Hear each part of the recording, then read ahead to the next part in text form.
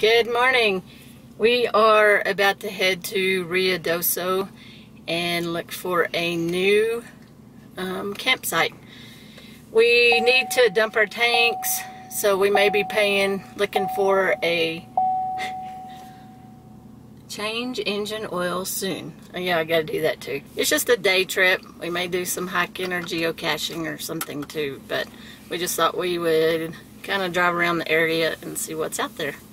So, thought I'd take you along. Let's go. Oops. So that's right outside my window. So we're leaving Ruidoso and going to Capitan and looking at some sites there. And we're going down this rural, I guess it's rural, out in the middle of nowhere highway. And we come to we come to the cemetery and it says here that this is the Blue Star Memorial Highway, a tribute to the armed forces. So this is the State Veterans Cemetery, Fort Stanton, New Mexico.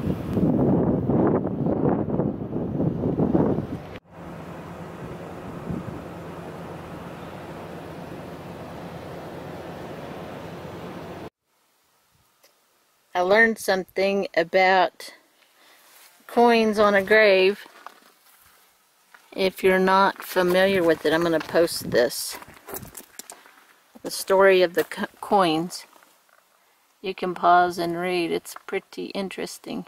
Leaving a penny just says that you visited. A nickel indicates that you and the deceased trained at boot, boot camp together, while a dime means that you served with him in some capacity. And leaving a quarter you're telling the family that you were with the soldier when he was killed.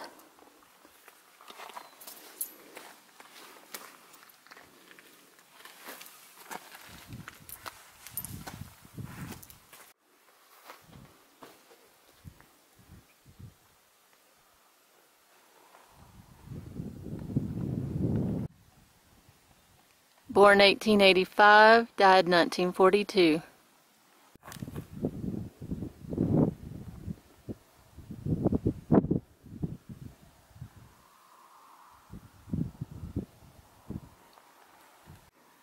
So each one of these crosses has a number, like this one is 722. There's no name. But within these crosses you'll see a tombstone, a newly placed one. So I'm assuming that they identified who 723 was. And this is Oliver, died in 1933.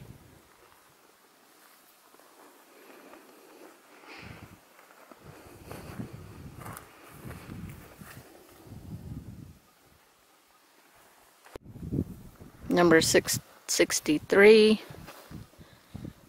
Norway, died in 1929.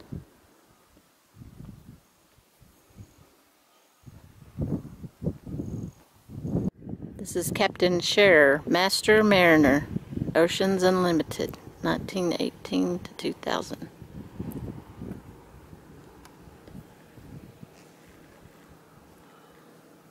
World War II. And his wife 2013